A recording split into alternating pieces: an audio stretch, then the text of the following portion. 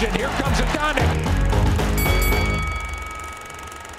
Nasze wielkie walki. Zapraszamy na kolejny odcinek. Witam Państwa serdecznie. Przemek Seleta. I Janusz Pindera. Proszę Państwa, e, dziś spokojnie, nigdzie nie lecimy. E, studio e, telewizji Orange w Warszawie i na tamte czasy no jedna z największych walk, a jeśli chodzi o stronę finansową całego przedsięwzięcia, absolutna walka rekordzistka, czyli pojedynek Floyda Mayweathera juniora z młodym, wtedy 23-letnim e, Saulem e, Alvarezem. Pojedynek, który mimo wszystko, chociaż faworyt był tutaj e, no jednak jasno określony, to jednak wzbudzało ogromne zainteresowanie, bo nie brakowało takich, którzy wierzyli, że to Alvarez wyjdzie z tego pojedynku zwycięsko. Tym bardziej, że warto mm, wspomnieć o tym, że Alvarez, pomimo tego, że miał e, zaledwie 23 lata, miał jednak sporo doświadczenia, bo zaczął boksować bardzo młodo. W wieku 15 lat. E, w Meksyku oczywiście, bo w Stanach trzeba mieć skończone 18 lat, no ale też wielu Amerykanów w ten sposób obchodzi e, ten, to obostrzenie i toczą walki w Meksyku gdzie nikt nie zwraca uwagi na takie szczegóły. Tak, i to był, miał bardzo króciutką karierę amatorską, e, w odróżnieniu od bogatej e, kariery amatorskiej Floyda Mayweathera juniora, chociaż e, no, Floydowi na pewno brakowało tego złotego medalu z Atlanty. Tak się składa, że miałem przyjemność komentować jego ostatnią, no dla niego to, no, to była bardzo nieprzyjemna historia, bo to przegrał wtedy w półfinale z Rafimem Todorowem z Bułgarii, ze znakomitym pięściarzem, trzykrotnym mistrzem świata, trzykrotnym mistrzem Europy. Miał wtedy zaledwie 19 lat, ale był kandydatem na olimpijskie mm, złoto. E, talent e, przeogromny. Pamiętam wówczas, bo codziennie e, przy ringu siedział Evander Holyfield z Bruce'em Willisem i, i, i pamiętam, kiedy z Andrzejem Kostyrą podeszliśmy właśnie do Holyfield Fielda i, i, nawet niewiele brakowało, byśmy pojechali do tej jego mm, willi pod e, Atlantą, bo e, nas tam zaprosił, ale wmieszał się jego menadżer i e, uniemożliwił. Ale właśnie pytaliśmy go o, o, o, Floyda, no to bo Floyd tam dwie pierwsze walki, jedną wygrał z Kazachem w bardzo dobrym stylu, przed czasem, później wysoko na punkty, później miał bardzo trudny pojedynek ze znakomitym Kubańczykiem Lorenzo Aragonem. Wygrał jednym punktem, 12-11. Była to pierwsza od 20 lat zwycięska walka amerykańskiego pięścia, e, amerykańskiego pięściarza z Kubańczykiem. No inna sprawa, że te wszystkie e, bojkoty e, sprawiały, że nie mieli okazji się na igrzyskach spotkać ani w 80, ani w 84, ani w 88 roku, a w 92 roku nie było takiej konfrontacji, kiedy już były takie możliwości, a to był rok 96. Ogromne osiągnięcie sportowe, to ale też ogromna, mm, często kontro, kontrowersyjna mm, osobowość, najczęściej związana z nawet z jego ksywką money, czyli pieniądze. Ale to dopiero po walce z Marquezem, bo wcześniej był Pretty Boy. Wcześniej był Pretty Boy Floyd Mayweather.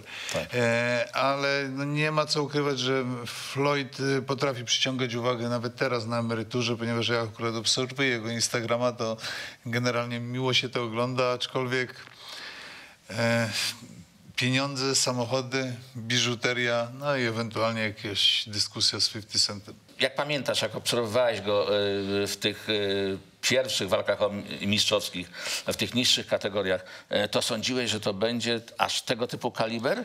Wiesz co, widać było talent, ale myślę, że trochę czasu zajęło mu mm, stworzenie takiego pewnego stylu, dlatego że Floyd Mayweather rzeczywiście w tym, co robi jest niepowtarzalny. E, to się obron, oczywiście opiera na obronie, ale on błyskawicznie z tej obrony potrafi przejść do e, ataku. No, szczególnie te mocniejsze ciosy prawą ręką. On nigdy nie miał nokautującego takiego Ale mocno bił. Wszyscy uderzenia. podkreślali, że jednak bił mocno, że ta ale, prawa ręka jest mocna. Ale, ale tą prawą ręką naprawdę no, niemal leżąc na linach potrafił, e, potrafił zadać cios nie nokautujący, ale na tyle mocny, żeby przeciwnik zastanowił się po raz drugi, zanim tak pójdzie otwarcie na atak. Miał problem z, z pięściami, prawda? Czyli kontuzję e, dłoni, specjalne rękawice musiały być dla niego, prawda? Ten Catman, który to dbał, ten starszy pan Garcia. E, to jest to też no, bardzo inna sprawa, że był pod każdym względem wszyscy, którzy z nim pracowali, e, był bardzo profesjonalny, jeśli chodzi o trening bokserski i o przygotowanie się do wielkich walk. E, Tak, rzeczywiście, no jak się czyta o tym, jak wyglądały mm, obozy Floyda Mayweathera, nawet jeśli były w domu w Vegas, e, to tam wszystko było bardzo dobrze zorganizowane. Nie szczędził pieniędzy na współpracowników, od, począwszy oczywiście od trenerów, a, a na pani dyspozycyjnej pani do gotowania, która była dyspozycyjna przez 24 godziny, e, to jak się czyta o tych stawkach, to, to rzeczywiście były e, godne. Nie należał do pięściarzy, którzy mm, no, szukali jakichś dziadowskich oszczędności. On zagrabiał ogromne pieniądze, ale też wydawał ogromne pieniądze. Tak, no i piął się po kolei kategorie wyżej, wyżej. Zresztą tak jak ci najwybitniejsi, bo również Oskar de la Hoya, który zaczynał od superpiórkowej i doszedł aż do kategorii średniej, gdzie też był mistrzem świata, chociaż ten wielki pojedynek z Trinidadem e, e, przegrał. Natomiast, natomiast e, Floyd, e, ta lista e, aktualnych lub byłych mistrzów świata jest imponująca. Liczba mistrzowskich, ilość tych mistrzowskich walk również. E, No, sam fakt, że przecież nie doznał e, porażki na zawodowym e, ringu, boksując od 1997 bodajże roku, tak? Czy 6 chyba już. Chyba. Chyba już w szóstym mm, rozpoczynał. Także to jest coś nieprawdopodobnego. Ale tak naprawdę na ten taki poziom już najwyższy niemalże e, kosmiczny w kategoriach e, finansowych wyniosła go e, walka rozegrana e, wiele lat wcześniej, przed tym pojedynkiem. Oczywiście toczył z Corralesem fantastyczny pojedynek, gdzie pięć razy leżał Corrales e, na deskach. Później ta jedna walka, taka kontrowersyjny werdykt z Castillo. Chociaż ona była bardzo równa. No ale tutaj no, można by się upierać przy Castillo, prawda? Ale w rewanżu był, był troszkę lepszy. E, Już moim zdaniem tam nie powinno być wątpliwości żadnych e, co do oceny tego e, pojedynku. Ale na ten wymiar nieprawdopodobny finansowy wyniosła go jednak walka z Oscarem de la Hoyą, prawda? To było. No ale to mm, właśnie dla mnie trochę mm, taki paradoks dotyczący Floyda Mayweathera jest taki, że właściwie on mm, nie unikał nikogo. Oczywiście no, żądał horrendalnych pieniędzy i zarabiał horrendalne pieniądze, ale też, e, no tak jak mówisz, no, jeśli popatrzysz e, na listę pokonanych przeciwników, to właściwie jest to, mm, kto jest kto w danej kategorii wagowej z najlepszych wśród, y, w danym okresie. Jednocześnie przez to, że mm, Floyd boksuje bardzo defensywnie, ma bardzo dobrą e, obronę, nie, mm, nie wdaje się w bójki. Rzadko się zdarzają sytuacje, kiedy przyjmuje mocne uderzenie i musi przełamać jakiś trudny moment, to mm, mam wrażenie, że potrzeba trochę czasu, żeby, mm, żeby on został właściwie doceniony. No bo oczywiście wszyscy uważają, że on jest y, najlepszy bez względu na, bez podziału na kategorie wagowe w tym czasie, jak, jak boksował, ale w dużej mierze na pewno to wynika z rekordu i z nazwisk, ale już niekoniecznie za styl.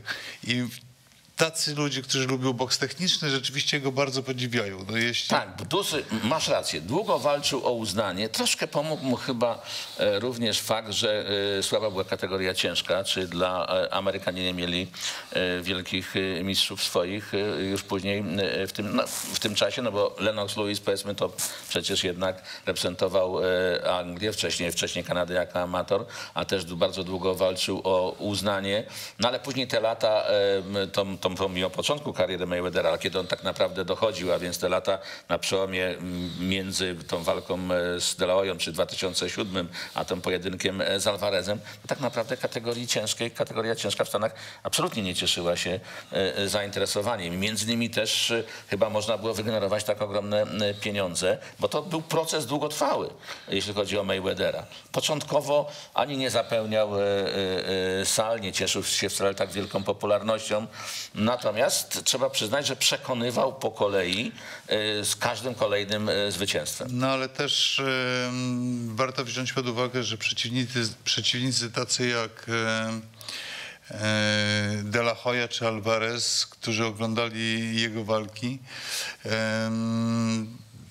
generują z, e, oglądalność wśród meksykańskiej publiczności, która jest przeogromną, przeogromna w Stanach Zjednoczonych i w dużej mierze no, wszystkie takie walki meksykańsko-amerykańskie czy meksykańsko-portorykańskie cieszą się e, ogromnym zainteresowaniem i zawsze gwarantują e, sukces finansowy, aczkolwiek no, nieporównywalny do tego, co, jaki odniósł e, Mayweather, czy właściwie jego walki, bo trzeba No tak, mówić o tym. o il, bo pamiętajmy oczywiście, y, żeby y, walka osiągnęła ogromny sukces finansowy, no to ideałem jest y, zderzenie dwóch ludzi, którzy mają za sobą y, widownię, prawda, ogromne zainteresowania, ten aspekt latynoski, o którym tu wspomniałeś, szalenie istotny jest ten ogromny sukces e, finansowy walki Mayweathera z De Loyą, bo tam przecież było prawie 2,5 miliona sprzedanych pay-per-view, tam było 136 milionów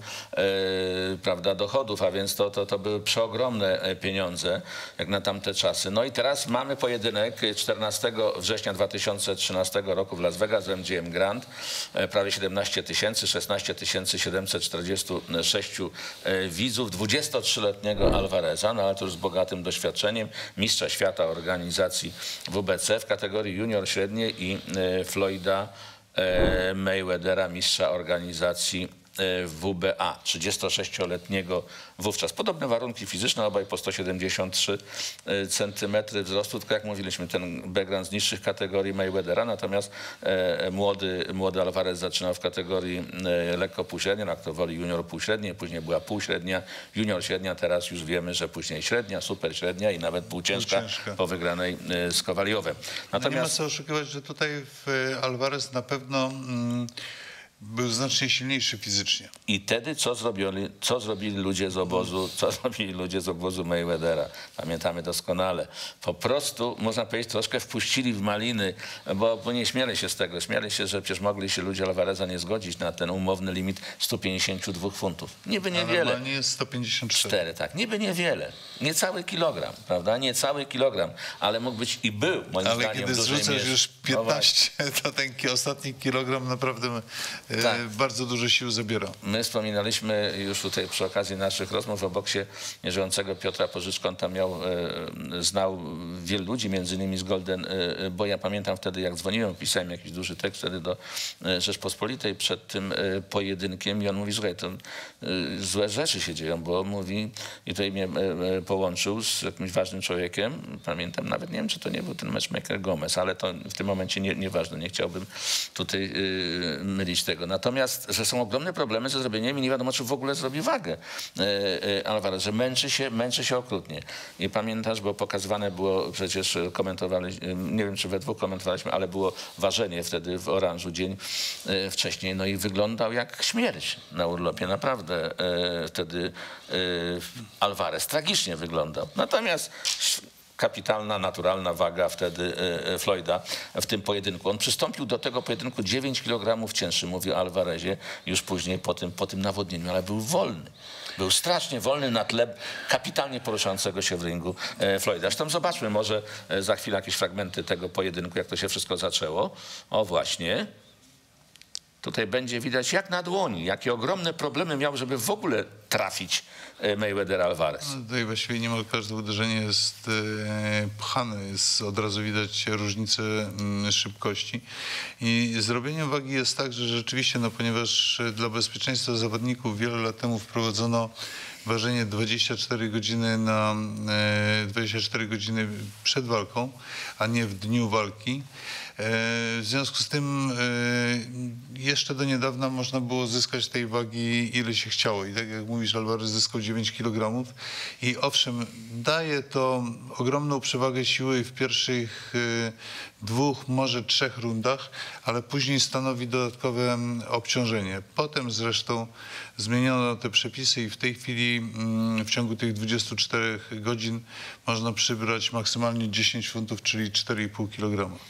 No tutaj w ogóle to jest zabawa. To była chyba najlepiej płatna lekcja w historii y, boksu. No jedna z łatwiejszych walk Tak. e, dla Floyda Mayweathera, a jednocześnie no jakby w kontraście do oczekiwań, jakie były, dlatego że zresztą ja też spodziewałem się, że mm, e, Alvarez pójdzie na totalną wojnę i będzie, będzie w stanie, mm, będzie w stanie mm, tego Mayweathera dogonić. Pamiętamy jego pojedynek z Austinem Troutem, trudny pojedynek, e, wygrany wprawdzie przez, e, wcześniej przez e, Alvareza, ale miał, miał tam e, pewne e, problemy. Już na oficjalnym ważeniu, proszę Państwa, zamknięto drzwi, bo nie było chętnych, e, a czy nie było miejsc, żeby mogli wszyscy chętni wejść. 2000, 12 200 osób obserwowało wtedy w Las Vegas oficjalne ważenia, 3-4 tysiące stało e, pod e, miejscem, gdzie to ważenie było przeprowadzane. O e, ilości, o liczbie e, widzów mówiłem, 16 746 w MGM Grand e, Garden Arena i rekord, rekord e, za tak zwane e, e, gate, prawda, wejścia, za, bilety. za bilety. E, 20 e, milionów e, 3150 e, dolarów. To do dzisiaj jest piąty e, wynik e, w historii, e, ponieważ no, te dwa są zupełnie niemożliwe, a więc ponad 72 miliony e, wpływ z biletów za e, pojedynek e, z Manem Pacquiao, Floyda Mayweathera, ponad 55 e, z McGregorem, e, z gwiazdą MMA. E, Na e, miejscu trzecim i czwartym są dwa pojedynki z kolei Alvareza z Gennadijem Gołowkinem. E, 20, e, ponad 27 i ponad 24, 24,5 miliona prawie dolarów. Tutaj było ponad 20 e, milionów. W ogóle pod każdym względem była to walka rekordowa, bo pamiętajmy, że wynegocjował Floyd gwarantowanej wypłaty 41,5 miliona Plus udziały z plus pay-per-view. udziały w pay-per-view, które były e, 2 miliony 200 tysięcy, a więc niby mniej niż za pojedynek o prawie 300 tysięcy e, Floyda z e, De La Hoyą, ale znacznie droższe e, była cena jednego przyłącza, bo tutaj była 74,50 dolara plus podatek, więc prawie 80 dolarów. No, z Pacquiao było prawie 100. No tak, a tam już było prawie 100 i było 4 miliony 400 tysięcy, ale wiesz, No, co by nie powiedzieć, no rzeczywiście Mayweather zarabiał, dalej zarabia zresztą ogromne pieniądze, bo za pokazową walkę potrafi wziąć 12 milionów dolarów, na przykład w Japonii z kickboxerem, którego nazwisko poza Japonią nikomu nic nie mówi, ale też e, generował ogromne pieniądze dla boksu. Tak, i tutaj e, jeszcze e, e, warto podkreślić e, to, że no właściwie przestały nas już wtedy dziwić te ogromne pieniądze. Oczywiście wcześniej kojarzono je przede wszystkim zawodnikami e, kategorii e, Ciężkiej. Mike Tyson, Evander Holyfield, te e, honoraria za ten rewanż też 35, 30. 30-35 milionów, wtedy No wydawały się te, te, te kwoty niebotyczne. To było prawie 20 lat wcześniej, prawda? Bo to był 96, 97. Dzisiaj jak słyszymy, że May... oczywiście to, to są kwoty zastrzeżone dla Mayweathera i z udziałami z pay-per-view, ale jeśli, nie wiem, miał dwie wypłaty, które oscylują w granicach 300 milionów dolarów, to po prostu em, ciężko, w to, ciężko w to uwierzyć. Tak, y, y, reklamowano ten y, pojedynek, było wielka, y, wielka trasa w 11 y, miastach. Zaczęto w Nowym Jorku, na Times Square wstrzymano ruch, prawda? Y, Był, byli również y, w Meksyku, 11 miast, y, dwa kraje. W sumie, jak powiedział Szefer, to wtedy był jakby takim dyrektorem wykonawczym Golden Boy Promotion, były bankier szwajcarski, który kiedyś na polu golfowym poznał Oscara de la Hoya. Y, Zainwestowano w ten pojedynek około 60 milionów dolarów, a więc e, trzeba też przyznać, sypnięto kwota. mocno, sypnięto mocno groszem, bo powiedziałem 41,5 gwarantowana suma dla e, Mayweathera, ale dla e, Alvareza 12,5 miliona i również udziały w pay-per-view, a więc to też, to też były e, w tym momencie dla niego, bo później oczywiście on podpisał ten słynny kontrakt za za 365 milionów dolarów i też to, Ale to już on dzisiaj jest rekinem, prawda? On dzisiaj jest rekinem tego e, rynku. E, Wybra, ale to też ciekawe, jak pod jakim hasłem reklamowano ten pojedynek The One, czyli wybraniec, prawda? No bo był w jakimś sensie ten Alvarez wybrańcem przez tutaj w przypadku Mayweathera. I tutaj też była ciekawa historia, bo ja tak naprawdę zastanawiałem się później, czy Oscar de la Hoya, który co ciekawe ten najważniejszy e, moment przed tą walką i samej walki już nie oglądał, bo był na odwyku e, szpitalu. Bo jeszcze jak były ten e, początek tej trasy, to towarzyszył e, Alvarezowi, a później był na odwyku. Miał, ma też swoje problemy. e, Wielki, złoty chłopak i to, i, i to spore. Ale zastanawiałem się, czy ktoś z jego obozu, mówię o z obozu Alvareza, naprawdę wierzył w to, że Alvarez może to wygrać. Chyba tak. Osobiście mi się wydaje, że y, przekonały ich pieniądze i tak y, patrząc na to, jak ta walka wyglądała, była chyba dla Alvareza trochę za wcześnie. No, z drugiej strony no też to, o czym powiedziałeś, Floyd Mayweather miał już 36 lat i mm, to nie jest jednak kategoria ciężka, liczy się przede wszystkim szybkość, E, więc to był z, taki, z punktu widzenia Mayweathera najlepszy moment na to, żeby mm, walczyć i, wygrać z e, Canelo. Tak, zobaczmy proszę Państwa końcową fazę tego pojedynku. No widać, że tutaj szukał absolutnie siłowych rozwiązań e, Canelo. No ale tutaj No tylko Mayweather optycznie wydaje się. widzi wszystko, nawet e, jak zadaje, zadaje te ciosy, nie rusza się, to jednak 90% tych uderzeń spływa na gardę albo mija celu. Pamiętajmy, wyssał, można powiedzieć, boks. No tutaj nie do końca z mlekiem matki, może nie w tym sensie, ale mając ojca, e, takiego mistrza defensywy, Roger był kapitalnym pięściarzem Jeff, e, kolejny z No, jego wujków. rodzina. Tak, Roger już nie żyje, ale za najlepszego defensora w tym towarzystwie uchodził ojciec. I ojciec najbardziej dbał o jego, powiedziałbym, tą stronę e, defensywną. Zresztą ojciec tutaj stał w tej walce w jego narożniku. No stał, choć był taki moment. No był, zobaczymy taki to w samej moment, końcówce e, zapewne, Gdzie wydawało się, że tak? trener w ogóle jest niepotrzebny, bo sobie żartowali i w ogóle nie rozmawiali No na bo temat walki. prawdę mówiąc, tak naprawdę chyba był, był niepotrzebny.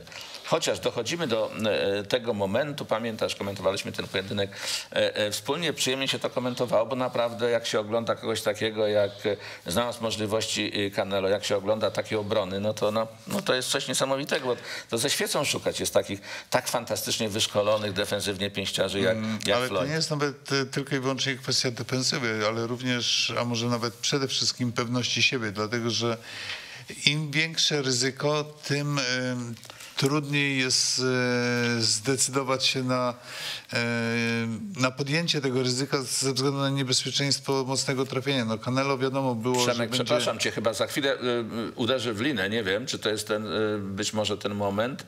Za chwilę pamiętasz, taka sytuacja była w Tak. końcowej fazie, ale tutaj się bawi, bawi się z nim i ten prawy, bardzo często y, no taki prawy bezpośredni, tak jakby walczył y, z Mańkutem, to jedno też z koronnych uderzeń y, Floyda. No tutaj zbił to uderzenie Alvarez i odchylenia. Czasami to odnosiło się, odnosiło się wrażenie, ale tak naprawdę było, patrząc na walczącego e, Mayweathera, że on w momencie zadawania ciosu już był, już się bronił. Wracał tak do pozycji obronnej błyskawicznie, że no, zresztą mówił po tej walce Alvarez, no, nie byłem bezradny, nie byłem w stanie go trafić. No. No, ale to jest styl Floyda. Mayweathera. On y, widzi w ringu naprawdę wszystko. I teraz poczekał, nawet już nie było kroku e, e, do tyłu. Chodź młody kolego, pokaż jeszcze co potrafisz. I na sprawę po tej walce go namaścił. Powiedział, że ja już niedługo skończę karierę, a wtedy on będzie moim następcą w Alvarezie. Świetny podbródkowy, ale w każdym razie mówiłem o tym, że po prostu kiedy boksuje się z przeciwnikiem, który jest naprawdę niebezpieczny, a nawet na tym etapie kariery Alvarez był bardzo niebezpieczny, e, no niewielu, no właściwie no tylko Floyd May- Mayweather wówczas mógł sobie pozwolić na to, żeby mm, odchylać się o te milimetry i polegać w 100% na swoim e, refleksie i odruchach. No tak, no jedno jest tutaj, y, nie ulega wątpliwości. Profesor walczył z uczniem. A ten uczeń miał wtedy 42 zwycięstwa, żadnej porażki, jeden remis i 30 walk wygranych przed czasem.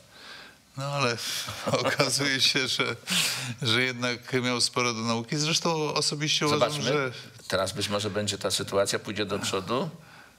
osobiście uważam, że ta walka bardzo dużo Canelo nauczyła. I, O i właśnie, bardzo to mu jest- się przydała w jego To jest karierze. bardzo istotny element, który teraz poruszyłeś. To też chciałem powiedzieć. Tu zaraz zobaczymy w linę. I tu wszystko jest.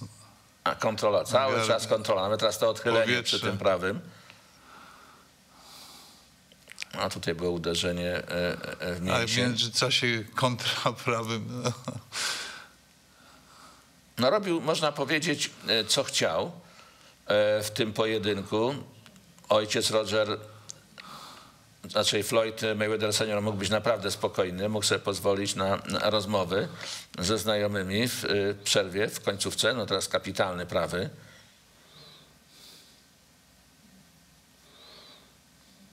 Tak, to, nie nieosiągalny można, to nie można Alvarezowi od, odmówić e, ambicji, o ile mam wrażenie, że te pierwsze rundy trochę go sparaliżowały. Potrzebowało czasu, żeby się rozkręcić, to jak się rozkręcił, to okazało się, że w ogóle nie nadąża za, za Floydem. Tak, ale stać go było na to, żeby później powiedzieć, byłem słabszy, po prostu byłem słabszy, zabrakło mi e, doświadczenia.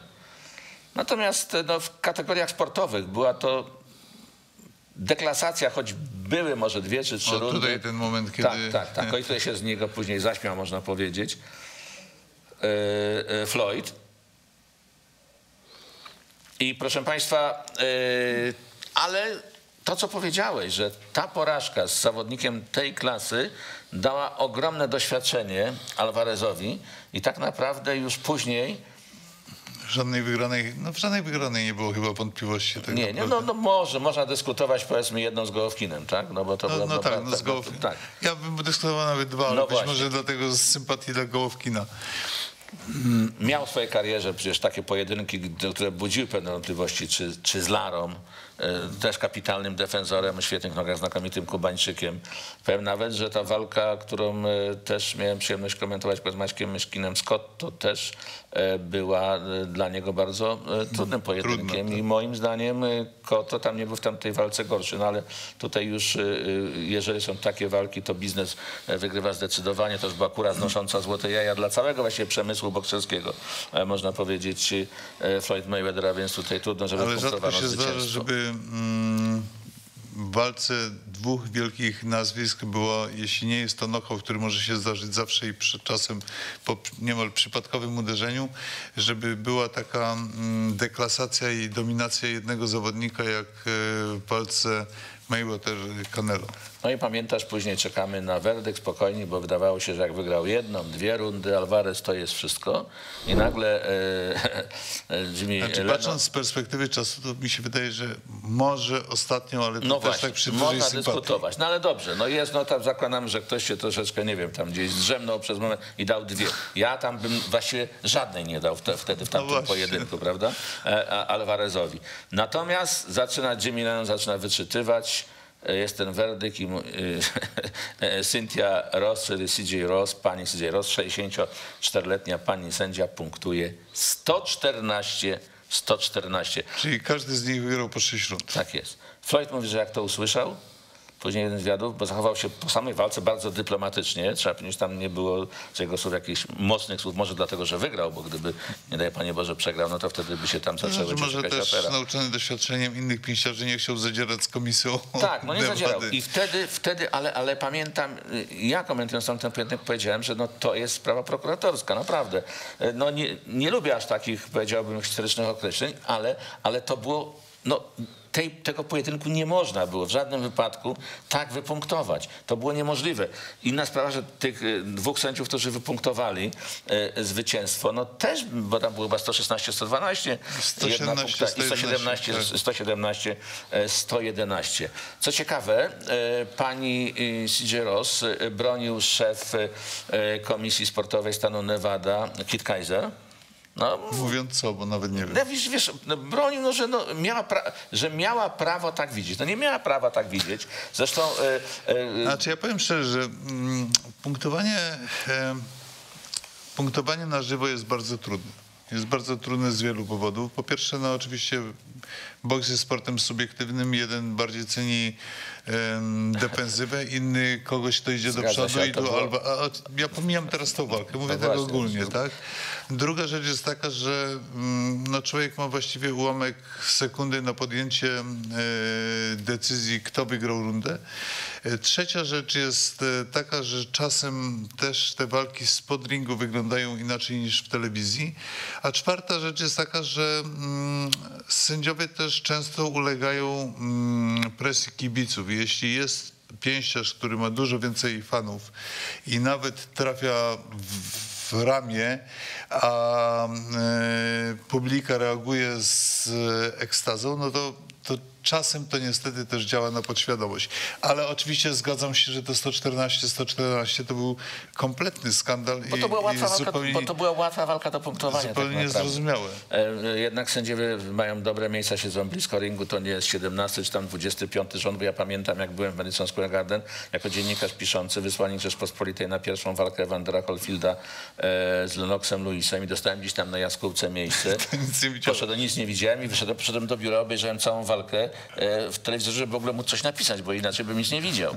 Tak naprawdę tylko atmosferę. Atmosferę poczułem przy innych walkach siedząc i tam powiedzmy chodząc, a później całą walkę obejrzałem w telewizorze. Więc mówię, my jako komentatorzy telewizyjni będąc, no to jest ta naprawdę spora różnica, bo najczęściej te miejsca były bardzo dobre, żeby nie powiedzieć Tak, wyśmienite. no ma się też podgląd na... I jeszcze mamy e, monitor, tak, prawda? Na monitor i, i są powtórki tak. Także nie, no to wtedy jest się, powiedziałbym, jeszcze w pozycji bardziej uprzywilejowanej niż sędzia, który tego monitora nie ma nawet. Ale tutaj wracam. Trzy dni po tym pojedynku pani CJ Ross e, wysłała maila do e, Kita Kaisera, w którym poprosiła, żeby nie brać jej y, pod uwagę przy ustalaniu jakichś tam y, innych składów e, sędziowskich, bo mm, stwierdziła, że jednak uda się na taki dłuższy urlop. Ostatecznie nie wróciła do sędziowania, tak naprawdę było to e, przejście na jej e, sędziowską emeryturę. Tak to wyglądało, no ale gromy się tam posupały niesamowite, bo trzeba wziąć pod uwagę, że jeszcze 15 miesięcy wcześniej ta sama pani wypunktowała zwycięstwo Timothy Bradley'a w walce z Manem Pacquiao, który wtedy stracił pas w kategorii wypaczyło półśredniej, absolutnie wynik. E, No niestety tam jeszcze jeden sędzia widział podobnie 115-113 jak pani e, e, CJ Ross i w tej sytuacji lepszy zdecydowanie w pojedynku z Bradleyem Manem Pacquiao walkę przegrał. No. To niestety koszty takiego czegoś są no, stanowczo za wysokie, dlatego mówię, z tym, z tym trzeba walczyć. Co do samej walki przyniosła ogromny sukces, bo z pay-per-view 150 milionów e, dolarów. To jak obliczono inflację z tego pojedynku z 2007 roku pomiędzy e, Mayweatherem i De La Hoyą, to wtedy by wyszło ze 136 153, a więc by był minimalnie jakby tutaj e, e, większy dochód. No ale to faktycznie poza tymi już zupełnie szalonymi pojedynkami Mayweathera, czy to z Pacquiao, jeśli chodzi o stronę finansową, czy z Corenem McGregorem, to wspólnego tak naprawdę ze sportem miało niewiele, ale budziło ogromne zainteresowanie jakby dwóch środowisk i MMA i środowiska e, bokserskiego i nie tylko zwykłych zjadaczy chleba. E, Również to te wyniki finansowe trzeba przyznać ogromne. Tam bilety kosztowały wtedy na ten pojedynek w MGM Grand Arena od 300 do 2000 dolarów, średnia 1320 dolarów, bo tych drogich było bardzo dużo. Natomiast ponieważ rozeszły się w ciągu 24 godzin w czerwcu, bodajże chyba 25 czerwca e, uruchomiono sprzedaż i w ciągu 24 godzin zostały wszystkie sprzedane, e, to na czarnym rynku e, 10 razy e, więcej trzeba było zapłacić za dobry bilet. Tak to wtedy wyglądało. Co więcej, był, był, też pewien problem z tymi VIP-ami, których się najczęściej gdzieś tam zaprasza i daje mi się dobre miejsca. Nie dla wszystkich starczyło tych dobrych miejsc, tych najlepszych gdzieś tam blisko, blisko ringu, musieli siedzieć trochę dalej. To tylko pokazuje, jaka już wtedy była e, ta, powiedziałbym, siła marketingowa, biznesowa, nie tylko czysto bokserska Floyda i jak e, e, tym rodzącą się wielką gwiazdą, która dzisiaj no, zajęła miejsce Floyda jest i wtedy już był Alvarez, prawda? Ten rudowłosy Meksykanin, który, ja pamiętam pierwszy jak go zobaczyłem kiedyś e, w Polsacie, komentowałem jego pojedynek, naprawdę bardzo mi się podobał. E, e, Wtedy chyba zdobył pas, pierwszy swój pas w kategorii półśredniej. No i do dzisiaj mi się bardzo podoba. No ale też trzeba przyznać, że Mayweather, mm, który jest na emery- emeryturze, ale obserwuje, co się dzieje i mm, bywa uszczypliwy wobec boksujących kolegów w kontekście mm, kontraktu, o którym wspomniałeś, na chyba 360 Tak, on powiedział, że on to zarabiał. który zrobił w jednej, w jednej walce, tak? No tak, no ale właściwie w jednej i drugiej, bo tak naprawdę No tak. niewiele mniej zarobił, e, bo około 300, jak się mówi, w walce z Pacquiao, a zdaje się, że w tej walce z McGregorem było jej zdecydowanie więcej. Zarobił, zarobił więcej, no ale w każdym razie jest pier- pierwszym pięściarzem, który zarobił ponad miliard dolarów. Tak, no muszę przyznać, że jak e, wtedy, jak komentowałem w 96 roku jego to nie, nie, nie, abso- absolutnie to nie wchodziło w, w rachubę, To, przecież to chyba wówczas nawet człowiek nie zastanawiał się nad takimi kwotami w boksie. Absolutnie. Bo ja pamiętam, że to, no, o, o którym wspomniałeś, na przykład 30-35 milionów e, dolarów do Holyfielda i Tysona, to już wtedy było jakąś ogromną, ogromną kwotą. Tak, no później pamiętam, że były to ogromne pieniądze w 87 roku za walkę Marvina Haglera e, z Sugarem Rayem Lenardem, ale to było 12 bodajże chyba milionów, prawda? Potem Tyson Spinks, Tak. też, e, też ogromna kwota. Tyson napędził koniunkturę, a później jak jeszcze doszedł do tego razem e, z Holyfieldem, oni zaczęli bić te rekordy, prawda? Bo w pay-per-view, pamiętajmy ten No, rekord... właśnie zaczęło się, zaczęło się pay-per-view i Tak, i to pay-per-view prawie 2 miliony, jeden, y, je- 1,99 miliona za rewanżowy pojedynek, no to był absolutny rekord. A czy Felix i Trinidad w 99 roku z Oscarem De La Hoyą milion 400 tysięcy sprzedanych pay-per-view, to był rekord absolutny poza kategorią ciężką, bo kategoria ciężka była wyraźnie do przodu. Ale wtedy już za ten przegrany pojedynek e, Oscar De La Hoya, niesłusznie przegrany z e, Trinidadem, zrobił 28, 30, różnie to oceniano, ale to też były wielkie pieniądze, ale w dużej mierze dlatego, że już stał się szefem, powoli stał się szefem własnej firmy. Już wtedy odchodził od Aruma. Później od Aruma odszedł również e, Floyd i też, e, prawda, było Wtedy go- zaczęły się no, I zaczęło się na chwilę, było Golden Boy później po tym, a później było już Mayweather Team. A więc y, pokazał, jak można zarabiać te ogromne pieniądze. Y, I myślę, że y, no ciekawy jestem, czy się skusi na jakąś jeszcze wielką pokazową walkę, ale chyba do niczego mu jest to niepotrzebne, chociaż w formie fizycznej dalej jest Znaczy znakomity. pokazówek y, y, twierdzi, że pokazówki no, będzie walczył. Y, Bo dlaczego nie? Ostatnio też złapał chyba bakcyla, choć nie wiem, czy to nie jest wspomniany ogień y, na bycie trenerem. Więc y, kariera mm, na pewno nie będziemy się nudzić z Floydem Mayweatherem, bo od czasu do czasu e, coś komentuje, mm, podkręca atmosferę i e, jest na tyle ważną postacią w, e, w historii, czy może w ogóle w boksie zawodowym, że mm, każda plotka o jego powrocie elektryzuje. Ja przygotowałem jeszcze, żeby zakończyć temat tej walki cyfer, cyferkami, jakie wtedy były te statystyki komputerowe. Y, Jeśli chodzi o ilość zadanych y, ciosów, y, Mayweather zadał ich 505, 232 ciosy trafił, doszły celu 46% skuteczności. Alvarez zadał ich nawet więcej, 526, ale trafił tylko 117, 22%. Y, Ciosy y, przednią ręką jabs to 39 z 330, a więc 42%. Floyd 44 zaledwie y, lewe proste, które doszły celu z 294 i tylko 15%. W tym elemencie podniósł klęskę. E, Saul Alvarez i Power Punches tutaj e, nie najgorzej jeszcze, no bo tylko na te ciosy się tak naprawdę nastawiał.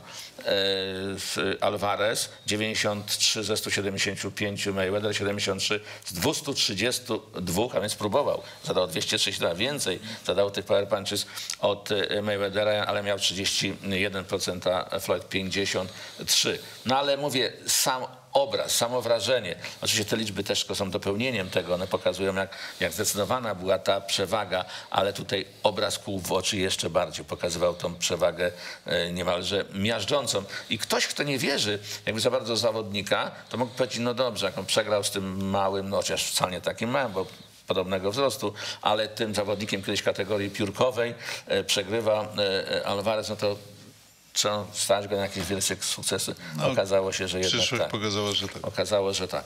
A więc proszę Państwa, e, oczywiście my i zarówno do e, Alvareza, z uwagi na to, że toczył przecież inne wielkie, wspaniałe pojedynki, e, czy też Floyda, bo przecież tych wielkich walk w wykonaniu Floyda też było sporo, zapewne jeszcze nieraz wrócimy, jak będzie ku temu taka okazja. Natomiast mówię, ten pojedynek był o tyle specyficzny, że właściwie we wszystkich niemalże rankingach e, pobił na tamte czasy 2013 rok wszystkie rekordy e, finansowe i pokazał, że te rekordy ciągle można łamać i ustanawiać nowe. I myślę, że również będzie tak, kiedy już uporamy się z pandemią Ale koronawirusa. tak, to tak, e, tak mi się teraz nasunęło, że właściwie no to był rok 2013 i ten rekord został pobity więcej niż raz. No właśnie. No właśnie, to też, no to też To pokazuje. też, to też daje dużo nadziei po pandemii. No właśnie. Proszę Państwa, e, myślę, że e, kolejnym e, odcinku też e, wrócimy do jakiejś naprawdę super ciekawej walki, w której e, poopowiadam, przedstawimy e, kulisy, e, które mogliśmy e, poznać.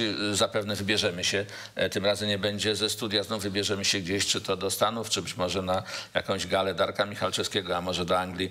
Zobaczymy. Jeszcze, jeszcze nie mamy, nie znamy konkretów. Na razie się naradzamy. A na dzisiaj to, proszę Państwa, wszystko. Dziękuję za uwagę. Przemek Seleta. Janusz Pindera. Do usłyszenia.